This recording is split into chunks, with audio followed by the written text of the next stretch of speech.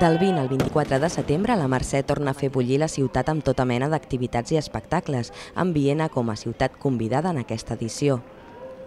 Però, sens dubte, el protagonista d'aquesta Mercè 2013 és el tricentenari, que transformarà diversos espais de la ciutat, com ara el Parc de la Ciutadella, per transportar-nos a una altra època.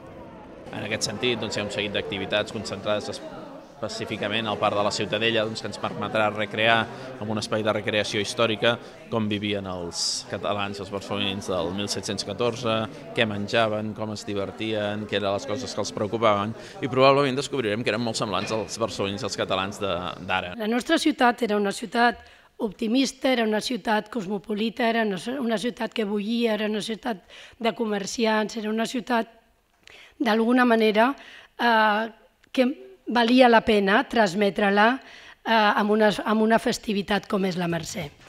De la història passem a la tecnologia més actual, perquè la Mercè es podrà veure la primera estrella de la cançó catalana virtual, l'Ona, que tancarà les nits del Parc de la Ciutadella.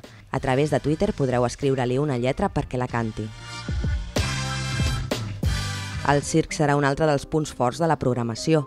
Una vintena de companyies mostraran els seus espectacles al Castell de Montjuïc i el Fossat de Santa Eulàlia acollirà un combinat de circ internacional en grups de prestigi com ara Nacho Flores i el duo XI.